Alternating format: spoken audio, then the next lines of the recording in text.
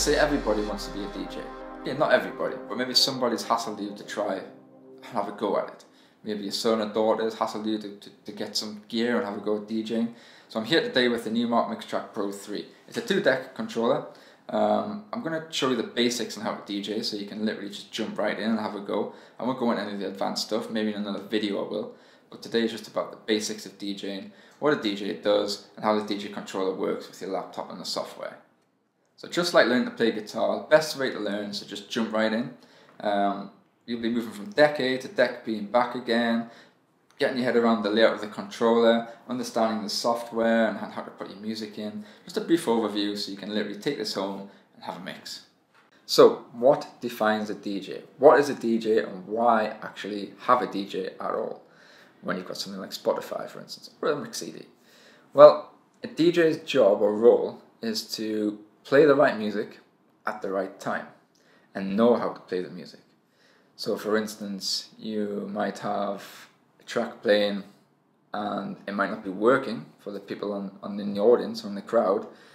You need to have the ability to change that really quickly to a track that actually does work. If you had a mix CD on, you wouldn't be able to do that. You'd just have to let the mix CD play out. So yeah, DJ's job is very important. They must make the transition from one piece of music to the next seamlessly.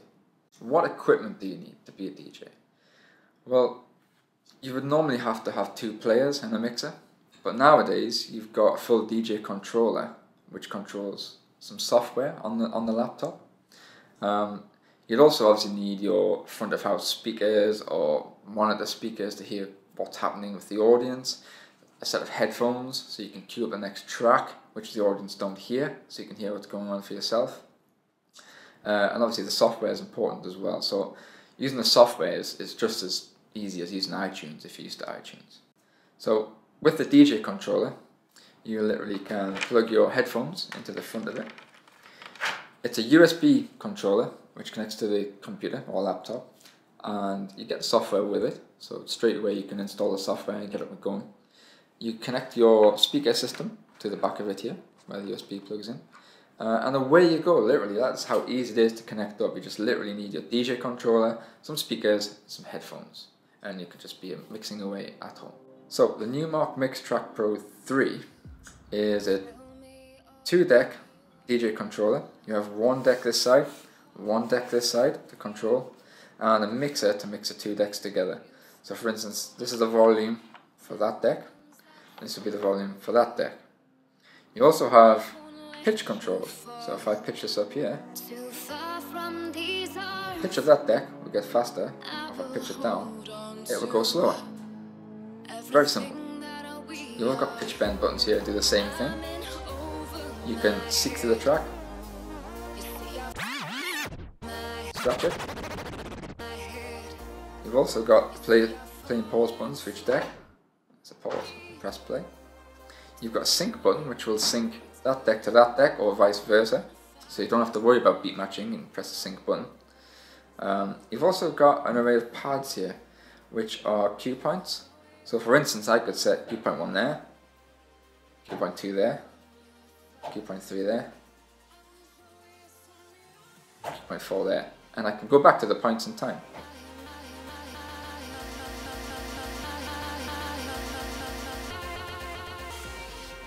Simple as that.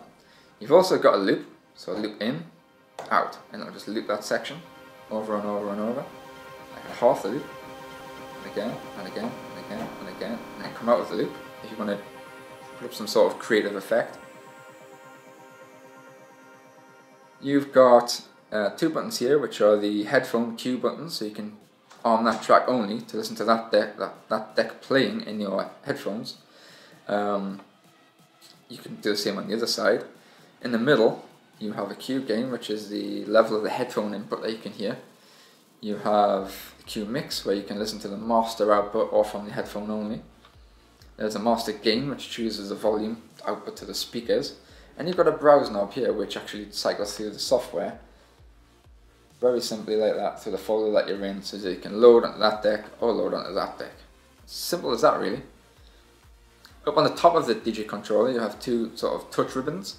Um, normally they're used for sort of jumping through parts of time in the track, but at the moment they're for the effects, so you can add sort of uh, filter effects. Do this here.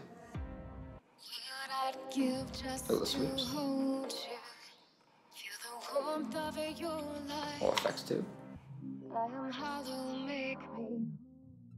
Or three, the flanger. Simple as that. You've also got EQ on the mixer, so you can cut the bass out, cut the middle out, and the treble out. Bring them back in. Those are really helpful when you make the transition between the two music players. There's also a filter now, high pass and low pass.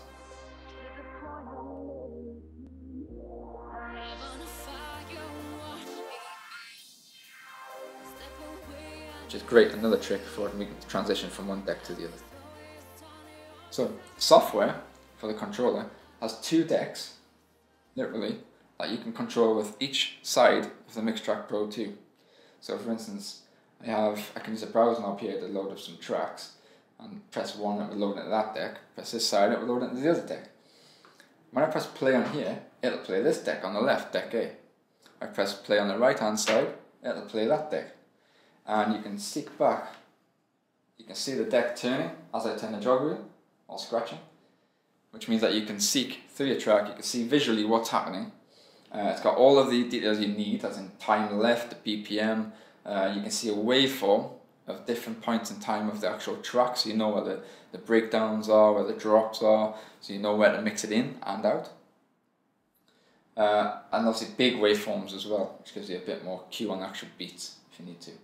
The browser uh, uses similar sort of functionality as iTunes. So if you're used to iTunes, making playlists, you know, all that type of thing, you can use the software no problem at all. It's, it works in exactly the same way. And most DJ software titles do this, but Serato DJ is really simple. So I want to show you how to do your first mix. Uh, this is going to be a very simple transition, uh, moving from the music playing on deck A to the music playing on deck B. Now it's supposed to be seamless. This is this is what you need to do. You need to look at perfecting your mix to make it as seamless as possible. The first steps usually are to match the beats uh, for the rhythm that's playing on deck A to the rhythm that's playing on deck B. Fortunately, most of the DJ controllers now use a sync button. So if I press play on this deck, track playing there, on this deck here, uh, this, this track's actually 133 BPM, whereas this one is actually 130. So to match that to this deck, you need to slow this one down. Now usually we'd use this tempo slider here, but with the sync button, that will match it for you. So all I need to do now is find the first point in time which is my cue point, my downbeat, my first beat of the track. And I need to initiate this mix at a certain point in time on the track playing, which you can hear, out there.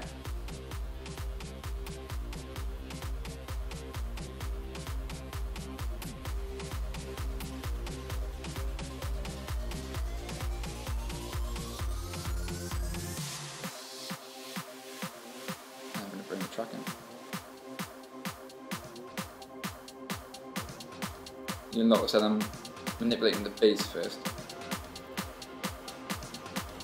And I'll bring the bass in.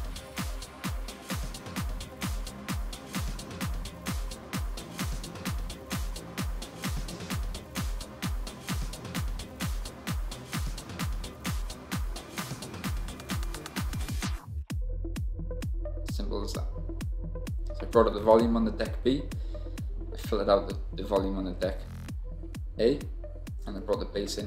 And it's just little techniques like this. I'm not going to go into the advanced stuff, you just need to make the transition from deck A to deck B seamlessly. So that was the Numark Mixtrack Pro 3. Uh, this is about £169 at the time of shooting this video. We've got these in stock now. They're all you need to get started in DJing, literally all you need. Don't need any more fancy bells and whistles, you just need the Mixtrack Pro 3. Now, if you want to hear some more tips or tricks on DJing, uh, I will be bringing some more to our YouTube channel, so please subscribe.